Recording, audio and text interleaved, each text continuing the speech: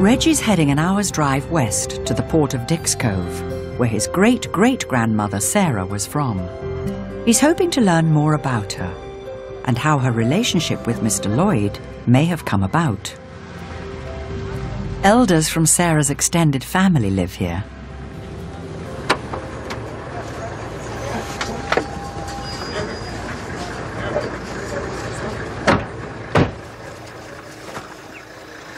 Hello. We are heading towards the head of the family's place. See. Hello. Yeah. Go, go, go.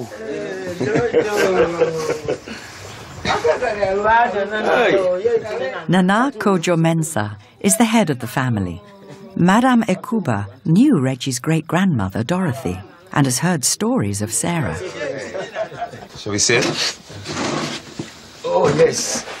Hello. Thank you so much for uh, for, for finding time to meet us. So you know, you know my dad. You know you, you you've you've met Jojo. You know. Bisa dia Jojo. Ah, Jojo Mesianga. Never for we family. Jojo When, Mesianga. when they call your father music man. Music man. Yeah. Yeah. He plays music. Yeah. Yeah, never for musician. we are born.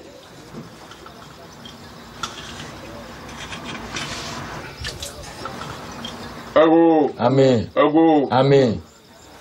nyamani, kwani kwanza. o providing more viable area. Nsa na yɛti ba. Meti kaka har mu dune o dui sa zo. Mita vanza pira. Mwanzo bai dia pa. Kama bindire bu suwa ma ya muka. Ara ba se ti dama za ku. Ni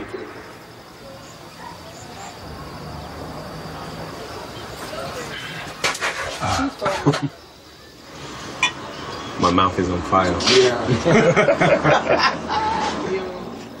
hmm. It seems like you remember a lot about the family. you seem very happy to see me. Thank you for, for pouring libation. I appreciate it. And thank you for having us in the house.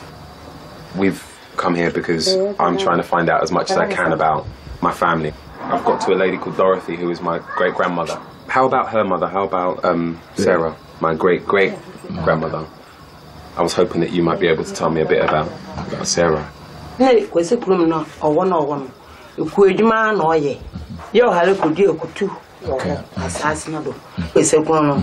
Eji mo kiti wọ na echi ọsoso nsama no ọtontọn nyama no.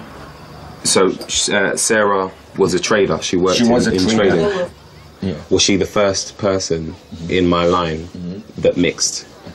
ɔpɛ dɛ obi sɛ dɛ sarah ne nyɛnyɛ bia no na no so ne ne gya nom a na n'ekyi beebi fi amanadze a na ɔno ɔyɛ yɛmma nim ha nipa um, typical african um, ghanaian And her father was Yes. was a Ghanaian man. yes sarah it doesn't have any No mixing her. mixing her family. yeah.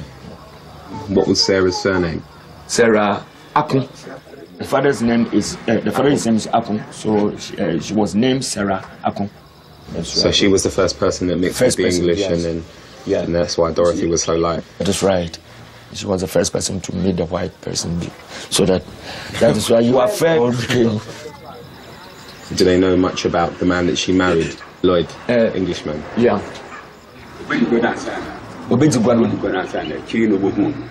She started the business before seeing Mr. Lloyd. Lloyd. Lloyd. Uh, Sarah was doing her own business before meeting Lloyd. Maybe Lloyd wanted to buy some pineapples or something like that, and they, they become friends, and maybe they had that Yeah. a baby girl with uh, Sarah. When Lloyd came and met Sarah, did you hear about a customary marriage? Ano dama na ọtụtụ ada ahyase no na wọdin biara enyi hɔ. Uh, in those days, there wasn't any No. weddings. Lloyd, he comes there and go. Comes there. Come backwards and forwards. Yeah. So they were together to create a child, but they weren't together in a relationship. He didn't stay. He left. Yeah, he left. Do they know if, if Dorothy was really similar to Sarah? Was she like her mother? Sɛ wofɔ ɔbɛrɛ ne maame so ɔbɛrɛ ti wɔ se. Okay, okay. They look like. Ah. They look alike. Only Dorothy is more fair than the mother. So Dorothy and Sarah, Yeah. they were close, Yeah. right? Yeah. Uh, the mother and the daughter were together So they were very, very close. Yeah. So they were like mother and daughter and business partners. bus- business partners. yes. Okay. So they were they were really they, they close. were they were they were really close. She was the only daughter to her. Jana na ba anyi na nkote. Only had one, yeah. That's the only daughter. So just like uh, uh, uh, steel and metal, you know. So they are like Always this. together. Very close. Okay. Okay. Well, that make well based on the closeness of Dorothy and Sarah, that would make sense that Yeah. he wasn't there, Yeah. and that it was Sarah raising Dorothy. Thank you so much.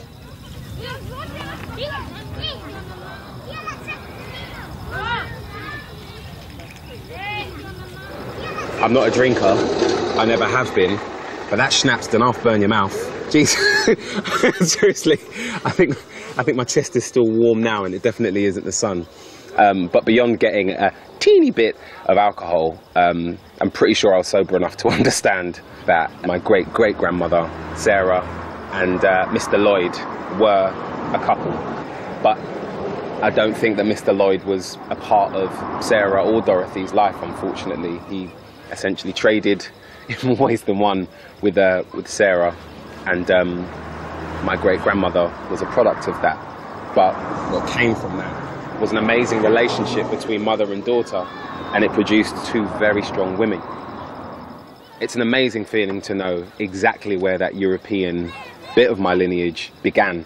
Um, my great great grandmother, Sarah, was the first person to mix with a European, and it seems to be a recurring theme throughout the generations, and it really does explain this.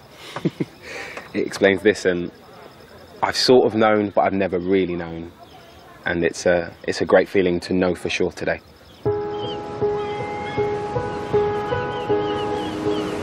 Coming out here on this trip has made me feel connected definitely to, to my father more, without a doubt. Father's side is mixed as far back as we can trace. And that mix, I think, has lent to the feeling of resilience. And um, I wouldn't say abandonment, but I would say that there has been abandonment. Mr. Lloyd and my great grandfather, George William Yates, left. But my grandfather, Harry, stayed and looked after his children, all 16 of them. He was there for them. Harry seems to have been an amazing man that I wish I'd known or at least met.